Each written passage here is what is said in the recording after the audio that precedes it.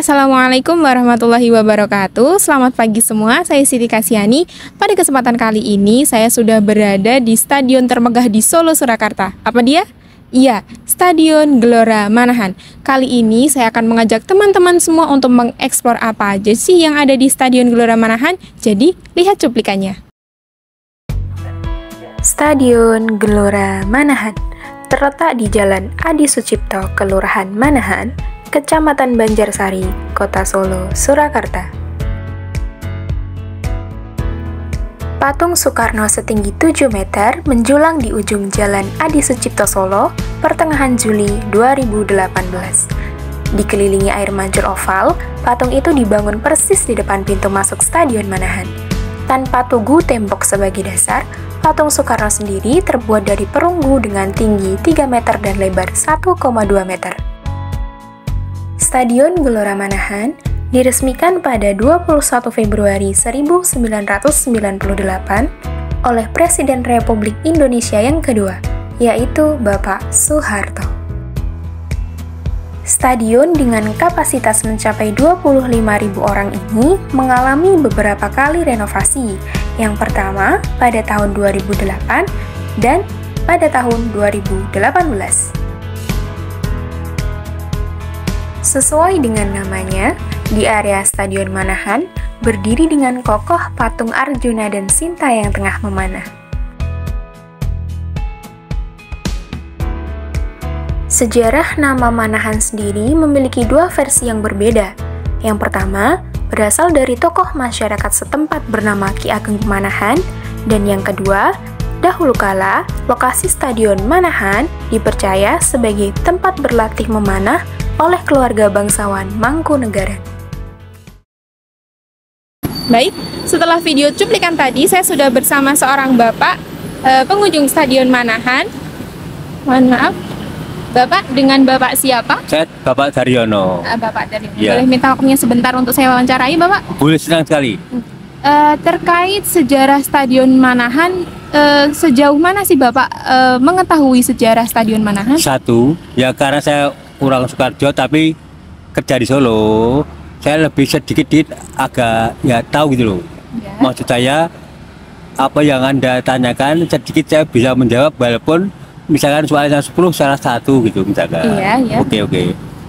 Terkait nama, kenapa Ya. sih Bapak diberi nama Stadion Manahan itu? Oh dulu. Itu waktu dulu di keraton di Mangkunegaran. Iya, Ini tuh terkenal dulu untuk olahraga panahan. Oh, iya Iya. iya iya. Untuk iya. panah-panah mbak. Iya, iya, Ah, iya. ah.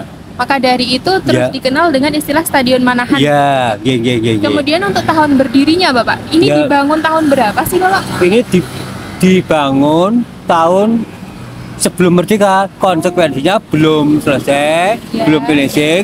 Clearnya itu dibangun setelah merdeka dan diselesaikan pada kalayak umum pada Indonesia bahwasanya di Solo pun punya stadion yang mumpuni untuk baik nasional maupun internasional itu. Baik, baik, baik. Ya. Dan kalau tidak salah ini diresmikan oleh Bapak Soeharto ya Pak? Iya betul, betul. Iya, Iya, Bapak Soeharto G.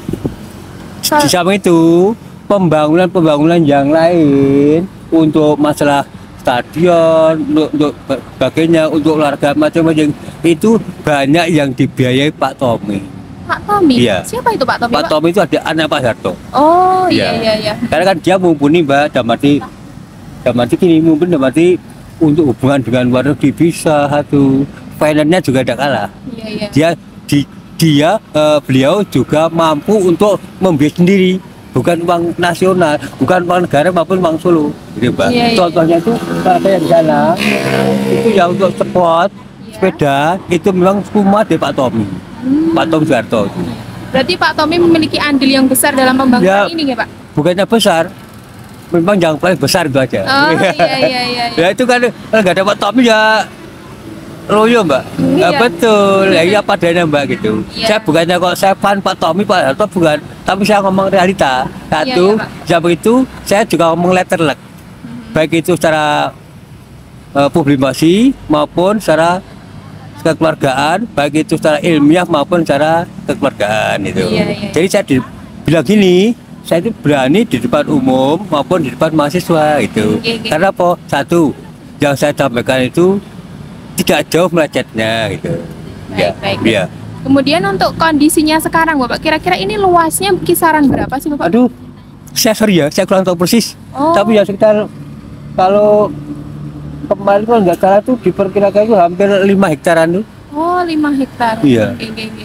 Luas sekali ya Bapak. Iya, luas lumayan. Di kompleks ini selain stadion ada apa saja Pak? Mungkin ada taman atau apa begitu? Di kompleks ini, di kompleks Stadion Manahan sendiri ini sendiri. Oh, ya ini Pak, komplek-komplek ya wisata, kalau hutan gitu. Oh iya iya iya. Berarti hutan gitu dan sebagainya juga untuk kuliner. Gitu. Oh, ada juga untuk kuliner. Oh, tanah tuh ah, gitu. Ya ya ya ya baik. Ah, nggih, nggih. Eh, ya sudah saya rasa cukup itu saja Bapak. Ya. Terima kasih atas waktunya. Ma- ah, ya, Selamat sama-sama. beraktivitas kembali. Ya, terima kasih. Ya. Yang saya harapkan untuk ilmiah Ya. situ berdua saya harapkan jangan sampai kalah dengan, dengan yang lain. Yang pertama, karena kita di Indonesia umat yang beragama jangan lupa yaitu sunatullah. Nah, Oke. Gitu, Baik baik. Kan bagaimanapun kalau kita itu berdasarkan Quran dan hadis, insya Allah itu kita melangkah enak. Satu, di samping itu nggak was-was. Di samping itu lagi nggak ada teguran. Oh, ah, negur Negur Quran hadis wani ya gitu misalkan. Oh, ya kan? Iya, iya. Sorry ya, saya Iya. padanya gitu. Iya iya. Ah, Ya sudah. Terima kasih ya Bapak. Sama-sama. Mari Bapak. Oke, makasih ya.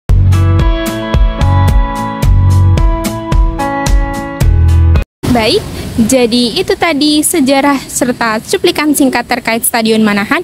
Untuk teman-teman yang ingin memanfaatkan waktu liburnya di Stadion Manahan untuk berolahraga ria atau yang lainnya, silahkan datang di Jalan Adi Sucipto, Kecamatan Banjarsari, Kota Solo, Surakarta, Jawa Tengah. Saya Siti Kasiani melaporkan langsung dari Stadion Gelora Manahan. Sekian dan terima kasih. Wassalamualaikum warahmatullahi wabarakatuh. Sampai jumpa.